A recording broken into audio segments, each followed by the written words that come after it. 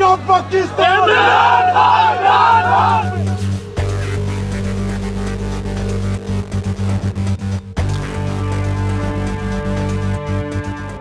नमस्कार, मैं हूँ आपके साथ रोहत। पाकिस्तान में पिछले कई दिनों से सत्ता पक्ष और विपक्ष के बीच राजनीतिक मैच देखने को मिला, जिसमें सबसे पहले तो आपने घबराना नहीं है, का ज्ञान देने वाले इमरान खान क्लीन बोल्ड हो गए।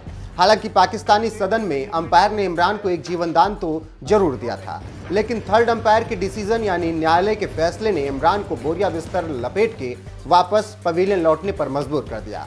अब पाकिस्तान के राजनीतिक पिच पर बैटिंग करने के लिए नए बल्लेबाज शहबाज शरीफ उतरने वाले हैं। यानी कि अब शहबाज शरीफ की ताजपोशी पाकिस्तान के अगले वज़ीर आज़म के तौर पर तय मानी जा रही है। इस बीच भारत में शहबाज के पीएम बनने के लिए लगातार प्रार्थना की जा रही है। आप ये सुनकर चौंक ज़रूर रहे होंगे, लेकिन सच यही है, दरअसल पंजाब के अमृतसर ज़िले में गाँव जाति उमरा है। यह गाँव शहबाज का पैतृक गाँव है। इसी गाँव में रविवार को गुरुद्वारे में चारदी कला के लिए पूजा हुई। आपको बता दें कि शरीफ का परिवार आज़ादी से पहले पाकिस्तान चला गया था। हालाँकि इस दौरान भी यह फैमिली यहाँ के स्थानीय लोगों के संपर्क में रही। यहाँ तक कि उन्हें खाड़ी देशों में नौकरी दिलाने में लोगों की मदद भी की।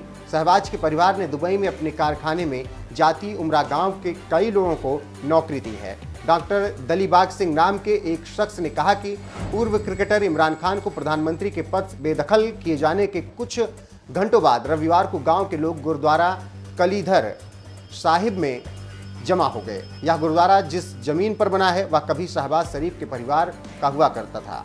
गुरुद्वारे में उनकी चारदी कला के लिए प्रार्थना की गई। दलीबाग सिंह ने बताया कि उनके पिता स्वर्गीय मस्सा सिंह, शहबाज के पिता मियाँ मोहम्मद शरीफ के मित्र थे। शहबाज का परिवार 1932 में पाकिस्तान चला गया था।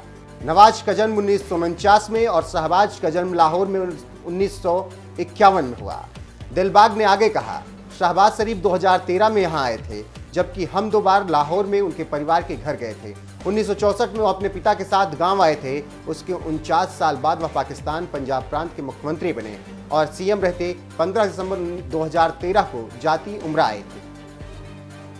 शहबाज ने 2013 में अपनी यात्रा के दौरान अपने पिता के शब्दों को याद करते हुए कहा था। वह कहते थे, इस गाँव में हमारा एकमात्र मुस्लिम परिवार था और हर कोई सद्भाव में रहता था। जब शहबाज अपने पैतृक गाँव गए थे, तब पंजाब के मुख्यमंत्री प्रकाश सिंह बादल ने शहबाज का गर्मजोशी से स्वागत किया था।